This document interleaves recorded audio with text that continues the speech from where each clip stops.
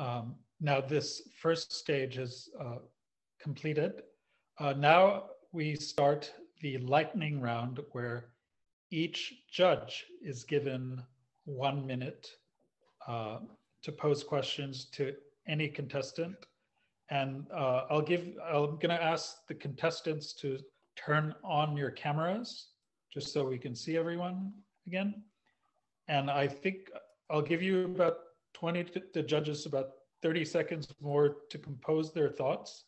And I will go in reverse order of introduction. Uh, so judges, I will go in this order. Anna, Luis, Santiago, Eri, and Ga. And um, um, we'll go with, like Anna, if you're ready, we can go with you first. And um, yeah. Okay, uh, good afternoon from my part. Uh, thank you very much to all of you who pitched your ideas. Um, I made some careful notes.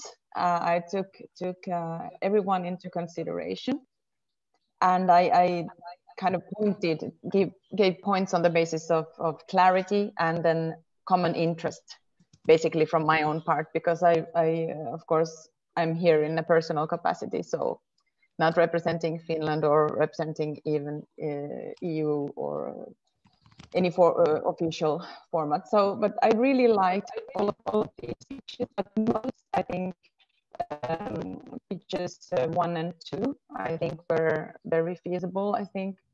And um, basically, you know, to have an equal basis for. Sorry, Anna, to interrupt, for, um, I think there's there's a sound. Is there sound, or people experience some some sound issues? So maybe. Oh, sorry, I don't don't, don't know what. Uh... Uh, yeah, is that better now, Anna? Like, can, could you please? Uh, sorry, uh, I, I I have I don't know I don't know. It's it's sometimes I have problems with the with the Zoom. So um, yeah, you know, I think we all. But, but good now.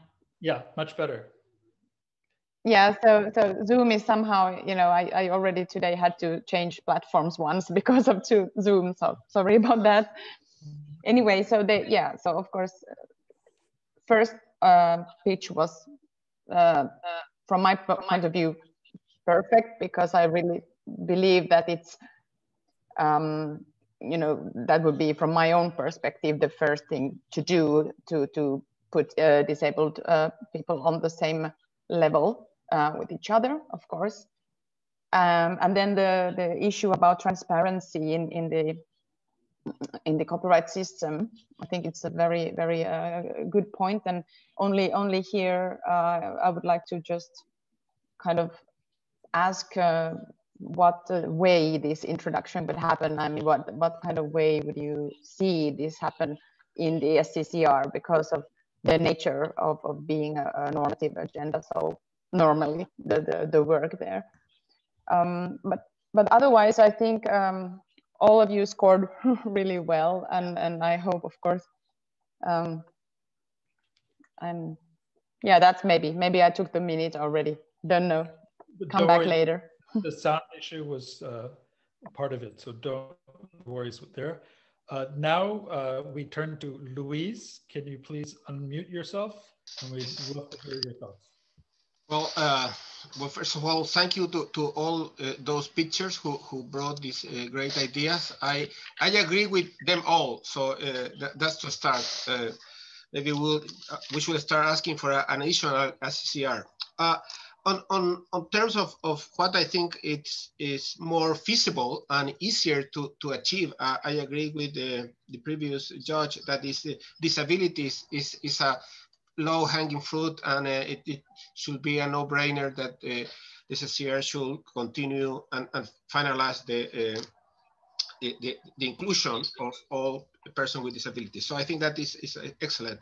And also I, I, I agree with the, the, the, transparency uh, proposal from uh, uh, James, which it, it is very similar to the Brazilian proposal on, that was put forward you know, a, a, couple of years ago to see how did the, the copyright system work with relation with the the you know the authors and and and relation with platforms and so forth. So so I I see this will, will complement and uh, looking uh, into uh, more detailed uh, specific uh, points. So the, the question to, to, to James, you know, on transparency, uh, will uh, uh, this proposal uh, refers only to functional copyright or also to normative copyright? Because we know that it's a huge issue on transparency and how lobbying process works with regard to norm setting. and, and, and, and finally, how many seconds I have? Um, 10 more seconds. Okay, thank you very much. Uh, and, and, and, and, also, I think that this is, is, is very uh, compelling, the, the, the, proposal of Jonathan, in, in the sense that uh, because we don't have normative work in the short term, we, we should uh, have you know, a guidance to WIPO to, to, to prepare the, the model provision, and, but not only limited to you know, to, to what Jonathan is, is proposing uh, preservation, but it, they should work on, on the key uh, issues being discussed in the WIPO exceptions agenda and uh, other topics. And I stop there, uh, not to. Thank, uh, thank you, Luis. Uh, and now we would go to Santiago, uh, if when you uh, can please unmute. Thank you, Santiago. Okay, okay. Thank you, Thiru. Thank you for all for the pitches. was this this exercise is very Uh, exciting for me because uh, all the ideas uh, uh are very good. Uh, so I have some notes around three pitches. the first one is the, the around the crossing boarding uh, cross cross boarding around the uh, inspired in the Marrakesh dispositions around the uh, limitation and exceptions for education was very interesting for me. And uh, another one is the uh, uh, model preservation provision around the preservation from the topics around cultural things was very interesting. And the, and the last one, uh, it's around the transparency. Uh, I am I am agree with the, with the Luis because uh, this proposal is very similar to the uh, Brazilian proposal uh, around the digital market and the platforms and the copyrights on the this uh, kind of of this use of the copyright works and was very interesting. So uh, only one more thing around the uh, uh, Teresa Hackett proposal around the uh, ebook market because uh, this is a problem uh, in this moment for a lot of, a lot of countries. For example, for Ecuador, this kind of limitation around the market because uh, in Ecuador we don't have uh, a lot of uh, options around to access to the works for example, scientific works specific. So uh, this is uh, my point of view, my, my first point of view around all the pitches. Uh, no more. Thank you, Thiru. Thank you, Santiago. Uh, now we'll turn to Ari. Um, please unmute yourself and uh, we'd like to hear your observations. Yes, can you hear me? Yeah, perfectly. Okay. Uh, good morning, afternoon, or evening, everyone. I don't know what, what time zone you are in. So thank you very much. Um, I'm, I'm very happy and I really love all the pictures. And uh, just like Anna, I want to make a disclaimer that I'm not representing Indonesia's position here, but I I take all notes and I have uh, I, I can I can go very fast now for the first page. I think it's it's the lowest chance of resistance. So I give it that because it, it will be very hard for countries to actually disagree that all disabled people should actually on the same level and have the same rights. And the second pitch is is, is the second pitch is very interesting, but I have the same concerns with the other, uh, especially Anna. How are we going to fit in this agenda within a CCR mandate? Do you think it will be doable? How, how much is the how much how much of resistance will be present? The third pitch is actually the strongest in making case point Uh, but uh, I, I, would like I would love to ask more question with regard to uh, the, the real proposal. How do you actually want to move forward with the supranational instrument? Which which part of the supranational instrument? What the supranational instrument will actually take care of? The fourth pitch for me, it's the most moving. You should definitely use this for your statement. If you have more than one minute in a CCR, you should ask for more time to deliver statement in a CCR. And the fifth pitch is actually the coolest one or the most innovative one. I actually think like, why don't we just do the, this kind of declaration? But I actually have a very important question here. Why copyright and COVID? Why don't you make it more general? Because copyright and COVID might be expiring very soon or in two or five or, or 10 years. Maybe an, another kind of, another title for the declaration would be better. Because if you take into account the time we need to negotiate something in a CCR, by the time we agree, COVID might not be existent anymore. And the sixth con, uh, the sixth pitch for me is the most realistic one. It's very narrow. It's also touch upon an issue that will be very hard for countries to object, which is preservation on cultural heritage. And it's very realistic that what what being proposed is model provisions. I think I think it will. It, uh, there is a chance if you really fight, if some countries really fight for this, uh, then consensus might, might might might be achieved in the SCCR. On the seventh page, uh, I put it as I guess this is this is also the most interesting one because it talks about digital. My question will be, how would you relate it to the other uh, agenda in the CCR right now about copyright and the digital environment? How would you put ENL within that discussion? Do you do you think it will be best to actually move that discussion into the ENL uh, agenda?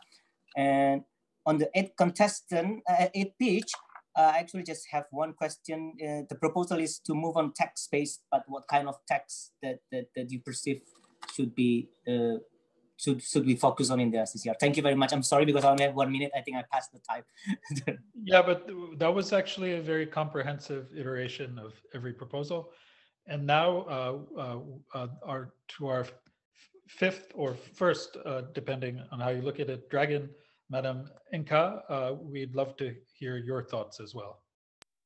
Okay, thank you very much for having me here. And I would also want to put up a disclaimer to say that I am here in my personal capacity and not representing either my office or my country. And uh, I would want to say that I found the pitches quite interesting from all the, the, the contestants. Uh, they raise very uh, pertinent issues that are applied to the agenda of the SCCR at the current moment. And I would want to, because of time, uh, just zero into the issues that I, I, I picked up uh, after appreciating everyone's contribution in this pitch. And to indicate that um, on the issue of transparency, I think it's quite an interesting proposal, but I think it will be helpful to help us appreciate how that can really come into the work of the SCCR beyond a mere discussion or a mere uh, research or findings of what is existing there, linking it to the copyright system itself. And then uh, on the issue proposed by Teresa Hackett on the, uh, trying to come up with um, policies or a system that deals with the anti-competitive um, nature or tendencies in the e-book market to say beyond beyond the copyright system because as SCCR most of the time our our role is to focus more on the copyright system itself to say now if we are taking this beyond copyright now taking it to the market how do we see the link between now the market, what happens in the, in the market and what happens in the copyright system. And I would like to summarize by saying that uh, the picture that I found uh, very intriguing for me, given the copyright, the, the COVID-19 situation that we are in and the fact that the SCCR has limitations in terms of time and even in terms of uh, how much uh, time and interaction we have with each other. I, and we don't know how long this uh, situation is going to be with us. I thought that the low-hanging fruit is what, what, what we need. And I thought that um, the model law proposal by Jonathan will help us maybe to achieve um, results uh, in the short time or while we are dealing with the situation. And I also found um, the proposal by Sean on, the, on, on us sitting back and, and interrogating our copyright system and say, what is it that works for us or that no longer serves as this at this point, point in time? Do we still need to talk about limit the copyright system to face-to-face teaching or we need to review that? I thought it was quite interesting for us to look at how we can bring the Doha Declaration into the copyright system and, and bring it uh, to a time where it's relevant for us. So I thought those were quite interesting, but above everything else, I would like to congratulate and thank the contestants for, for the pitches that they submitted. Thank you.